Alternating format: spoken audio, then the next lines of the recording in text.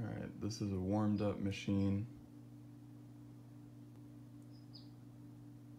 We're gonna pull the shot at the top of the minute. Do 10 seconds, and then we'll weigh it. And this should be good to tell us the temperature drop across a big shot.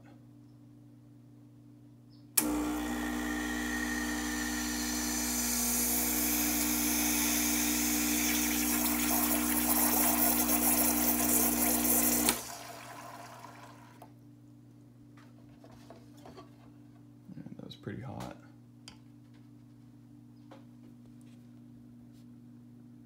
Uh, we've got 49 grams, which is bigger than I'd usually pull a shot.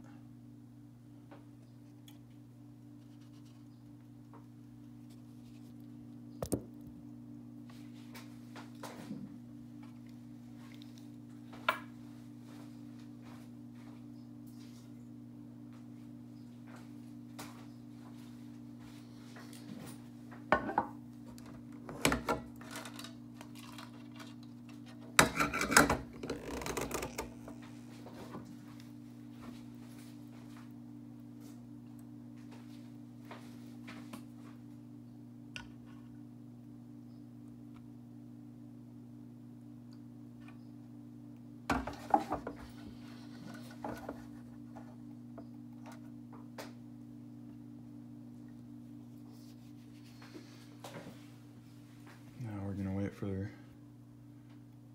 the top of the minute. I've had pretty good experience temperature surfing with this machine and it seems like two minutes between a perch and a shot gives a pretty good temperature. So we'll see what we get here.